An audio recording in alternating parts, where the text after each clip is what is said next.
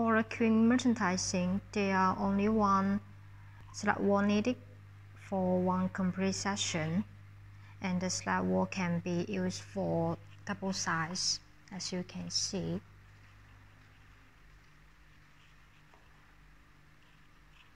And there are four connectors to hold the slide wall to connect the slide wall and the post. You can see one here one is at the bottom two Three and four.